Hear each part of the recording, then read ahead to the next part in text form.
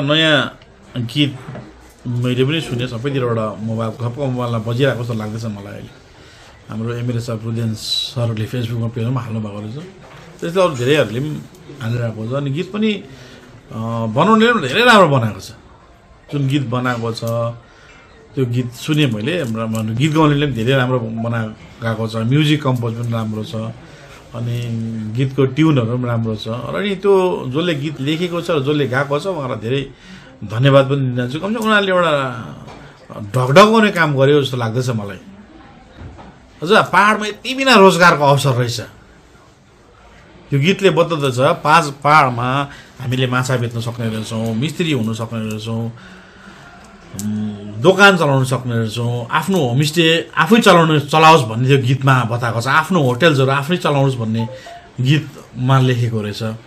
र यो गीतले हामी पोजिटिभली हेऱ्यौँ भने यो गीतले लेख्नेले पनि गाउनेले पनि एउटा हामीलाई ढकढकाउने र अवेरनेस गर्ने एउटा सोच यो गीतले क्रिएट गरेको छ। र गीत लेख्ने र गाउनेलाई म धेरै धन्यवाद दिन्छु कि हाम्रोहरूले आफ्नो ठाउँमा रोजगार छ भन्ने यो गीत बचाएको छ।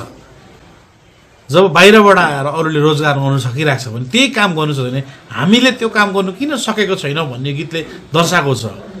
जब अरू सोसाइटी अरू कम्युनिटीले माछा बेच्नु सकिरहेको छ अरू कम्युनिटीले सब्जी बेच्नु सकिरहेको छ भने हाम्रो कम्युनिटीले किन सब्जी बेच्नु सक्दैन?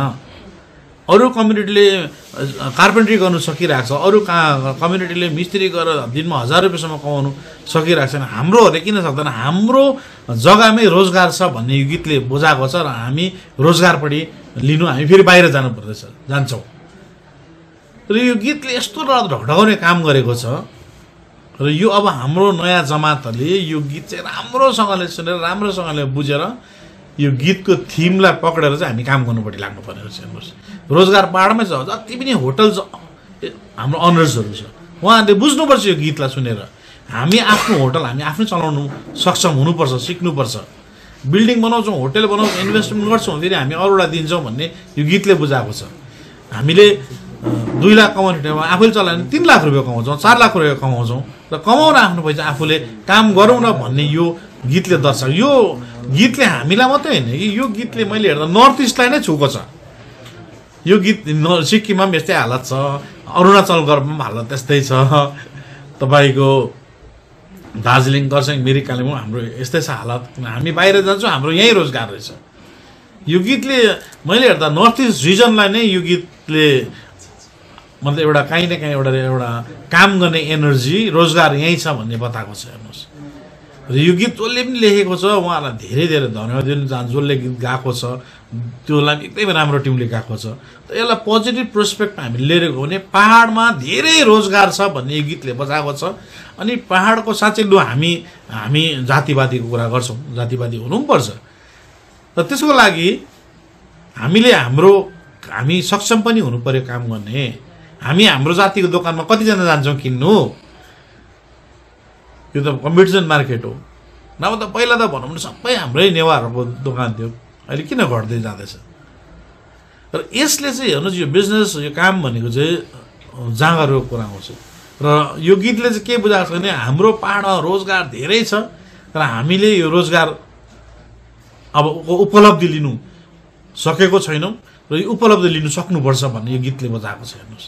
र यो गीतले एकदमै पोजिटिभ भएछ एउटा नयाँ दिशातर्फ लाँदछ यो गीतले एउटा हाम्रो नयाँ युवा जमात एउटा मेसेज पनि हो।